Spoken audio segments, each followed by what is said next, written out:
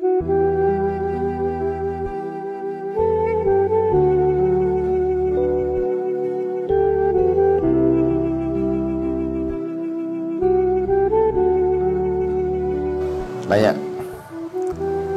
daripada umat Nabi Muhammad wasallam sampainya pada Allah melalui tariq as-salat ala Nabi Muhammad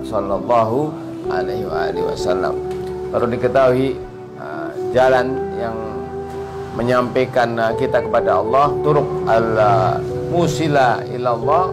Itu keadadil anfas seperti jumlahnya nafas. Adakah daripada kita yang mampu mendeteksi, mampu menghitung akan apa napas kita? Tidak ada.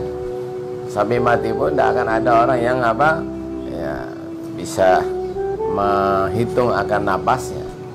Ketahuilah at-turuq al-musila ilallah jalan-jalan menuju Allah Subhanahu wa taala itu jumlahnya tidak ada yang mengetahui. Ini. Kenapa? Karena seperti uh, ada dilan anfas ya. Itu ada hamba sampai pada Allah dengan apa? Seribu jalan ya.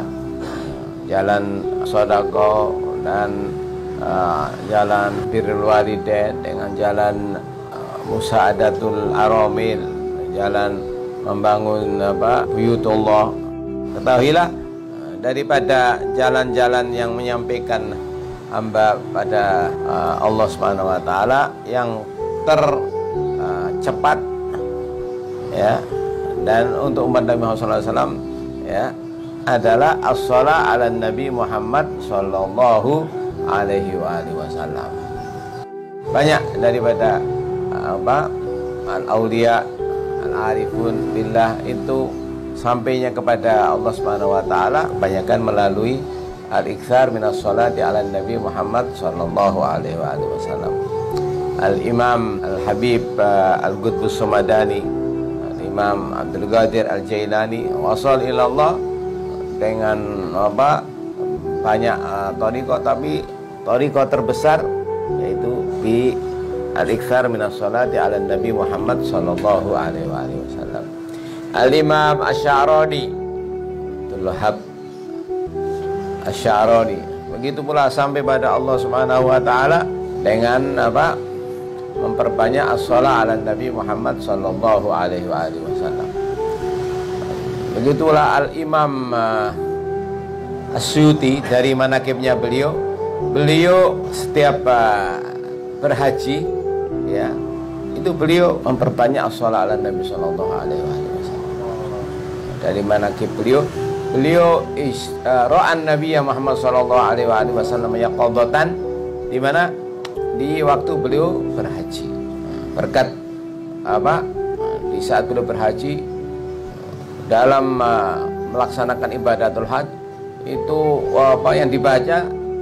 Hanya as-salat ala Nabi Muhammad sallallahu alaihi wa alihi wasallam. Nah, ini yang apa?